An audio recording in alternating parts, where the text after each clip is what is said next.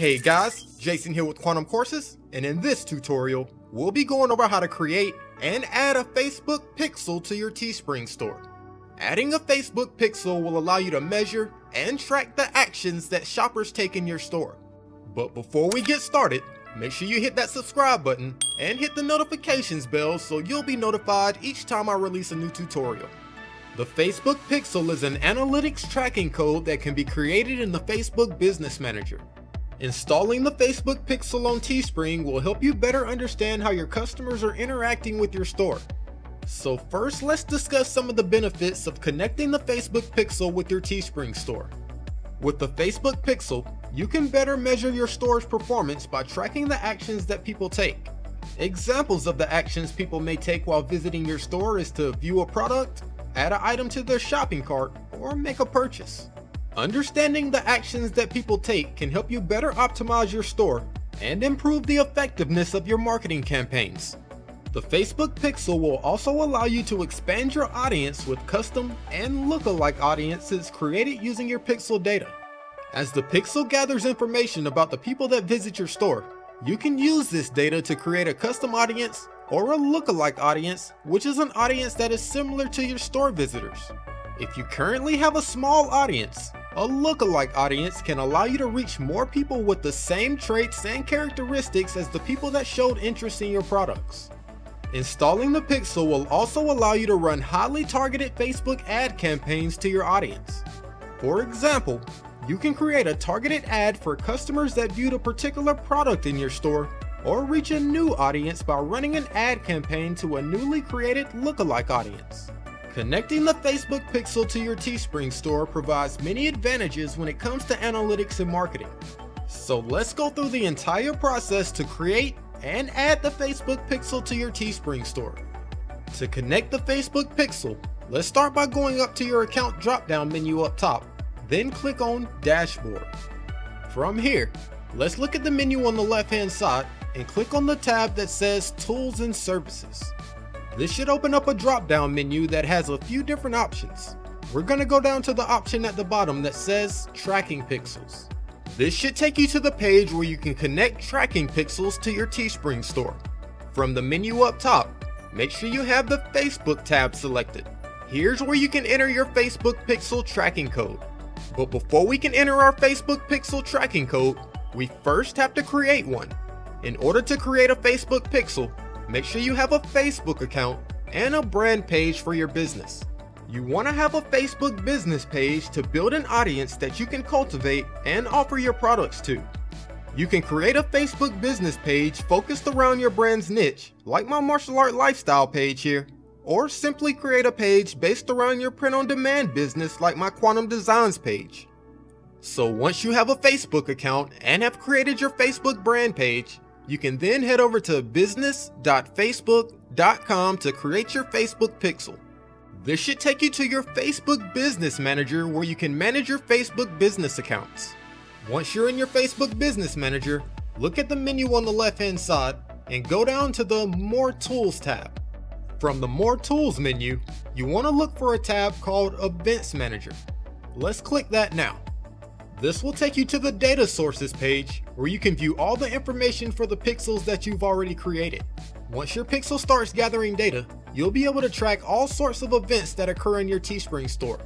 You can track events like your page views, how many people viewed your content, the number of people that added a product to their shopping cart or made a purchase, and many other events. So let's create a new pixel to add to our Teespring store. To create a new Facebook pixel, Let's go to the menu on the left hand side here and click the Connect Data Sources tab. Here's where we can connect a new data source. Since we're creating a Facebook pixel for our Teespring store, let's select Web. Go ahead and click Get Started. Now we can select our connection method. Of course, we're gonna select the Facebook pixel. Go ahead and click Connect. Under Add Details, go ahead and type in a name for your pixel. Make sure it's something unique because you might end up with a lot of pixels one day. Once you're finished, go ahead and click continue. And voila, we've just created a new Facebook pixel. Now that we have our pixel, we can add it to our Teespring store and start gathering data. From the pixel menu here, let's go up to the settings tab. Here's where you can find your pixel ID, which is the tracking code you need to add to your Teespring store. Go ahead and copy it to your clipboard now. Once you've copied your pixel ID, you can then head back over to the tracking pixels page in Teespring and paste it into the Facebook pixel text field. Once you've entered your pixel ID, make sure you click on update. And there we have it. You've just connected your Facebook pixel with your Teespring store. When shoppers visit your store, the actions that they take will now be recorded by your Facebook pixel. Now that we've connected our Teespring store with the Facebook pixel, let's go over an example of how to use the Facebook pixel. In order to use your pixel data to create a new audience or run a targeted ad campaign, you'll first need to head back over to your Facebook Business Manager. You can get there by going to business.facebook.com. Once you're in your Facebook Business Manager, let's head back over to our data sources page in order to view our pixels. To get to the data sources page, let's look at the menu on the left hand side, click on more tools, then go to events manager. You should now be on the data sources page where you can view your pixels. Since I just added the pixel to my Teespring store, we haven't gathered any data to use yet. So for this example, I'll be using my Thinkific pixel. So let's go over how you can use your Facebook pixel. Once you select the pixel you want to manage, look up at the top right and click on the create button. This will open up a drop down menu that will show you various ways that you can use the data collected by your pixel. You can use your pixel data to create an ad, where you create conversion campaigns that use your pixel information to drive more customers' actions. You can create a custom audience, where you reach people who have already engaged with your brand or find new people that are likely your best customers using your pixel information. One of my favorite things to use the pixel data for is to create lookalike audiences. This is where you can reach new people who are likely to be interested in your business because they're similar to your best existing customers. And finally, you can create a custom conversion where you measure more specific customer actions and run ads optimizing your delivery and reach for them. Once you select an audience, you'll be able to create a highly targeted ad campaign targeting those specific people. So let's take a quick look at how to create an ad using our pixel data. Before you start creating your ad, you'll first need something to promote.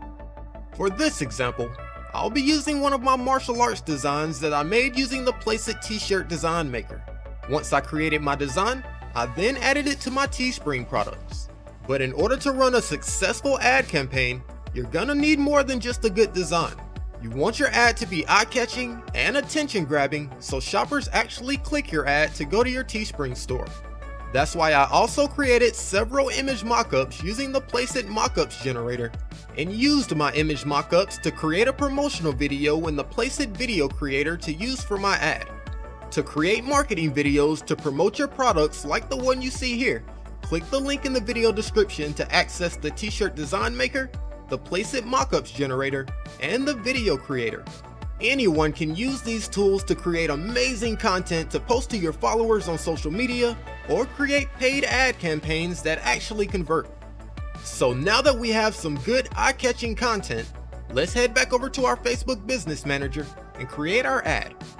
For our marketing objectives, let's go over to the conversions column and select the conversions option.